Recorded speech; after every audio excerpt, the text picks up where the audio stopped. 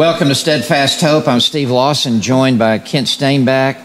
We're coming to you from Dallas, Texas, and uh, Herb's House Coffee Shop, and a lot of ministry takes place here, and even one today, right now, Kent, as we are in uh, Genesis 22, verse 3.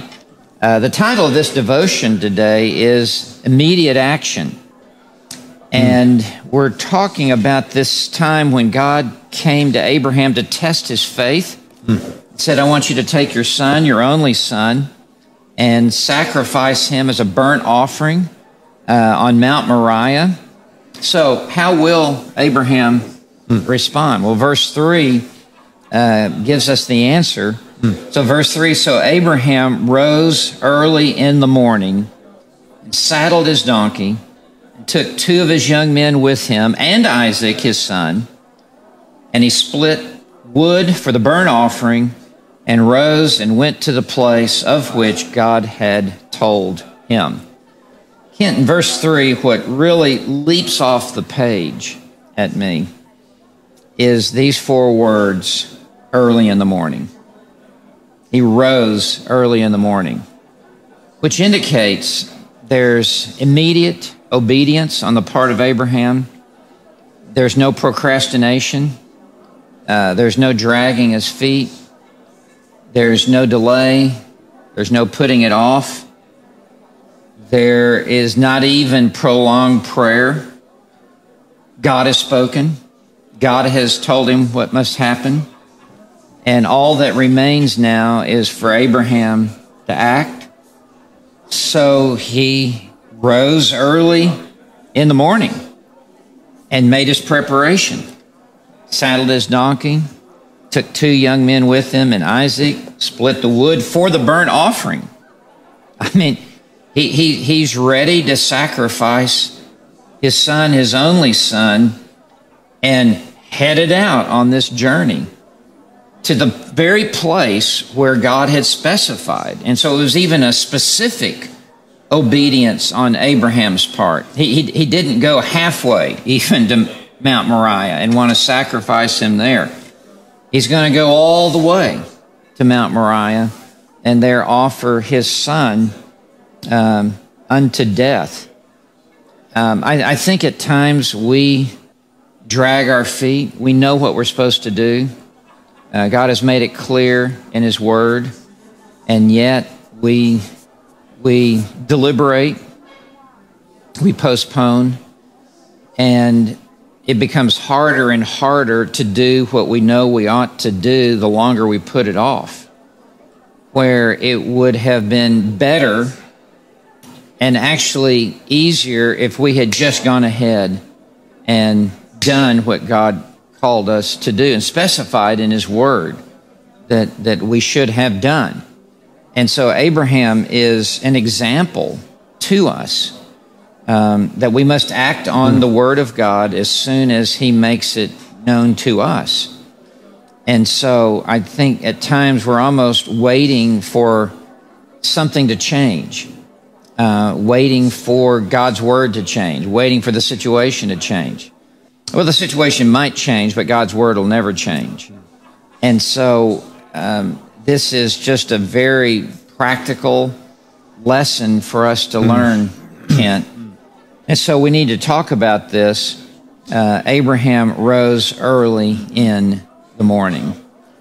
You know, I think about backing up the big picture. Yeah. When God came to Abraham and said, Look, the seed will come. It's a promise. Yeah. Seed's going to come through you. Yeah. Yeah. It's yeah. going to come through your son.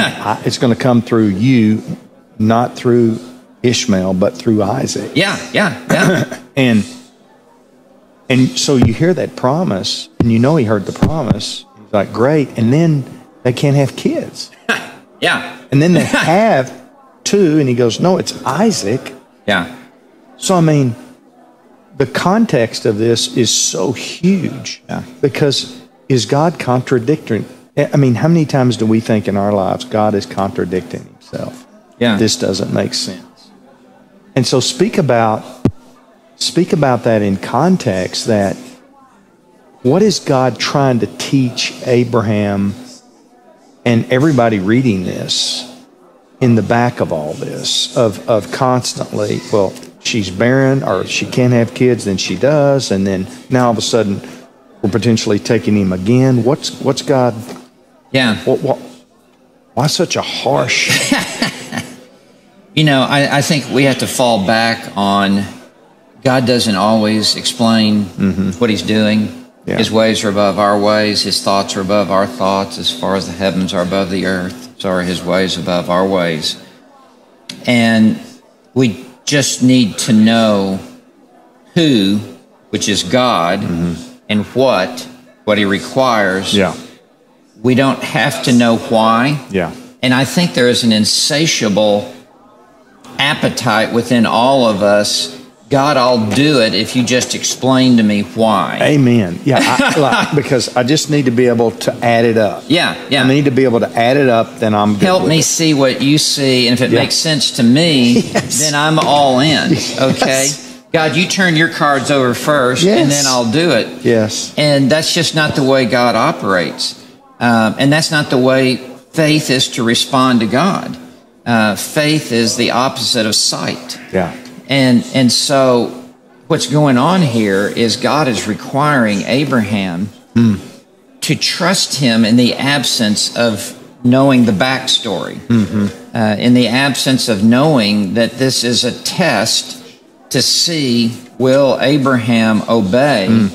And and Abraham Abraham doesn't know what's on the other side of the veil that at the at the dramatic moment God will step in and provide a lamb or a ram caught in the thicket by its horns.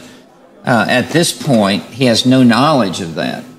It, it is, will you simply obey me?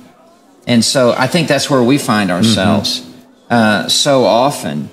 And we, we need to remember that God is not always going to explain why. In mm-hmm. fact, he probably rarely explains why. yeah um, That we just simply need to know that he's trustworthy. Hmm.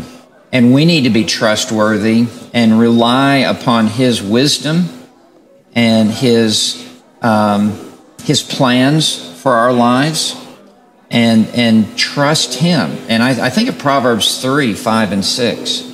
Trust in the Lord with all your heart and lean not on your own understanding. In all your ways, acknowledge him, and he will direct your hmm. path. And so it's in the lack of, of our understanding, but just trusting God, who God is and what God has said, that he will then make our paths straight. yeah So, and again, Kent, it's it's easier to teach on Yeah. this than to be in the crucible of life, Yeah. and and to respond in the way that we need to respond, especially immediately.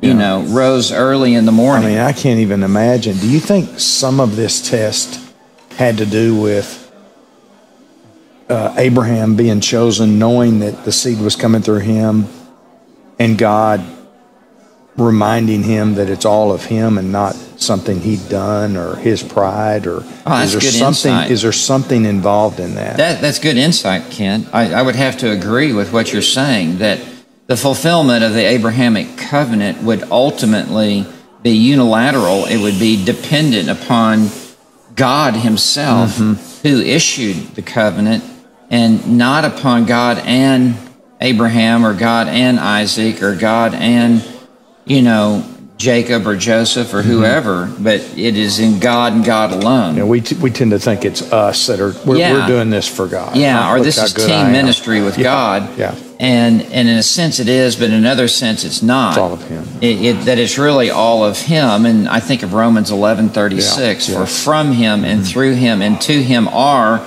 all things. that's your favorite verse. It Steve. is my favorite verse. Can't think. That's why I know it so well. I know one verse. No. Um, to Him be the glory forever. Amen.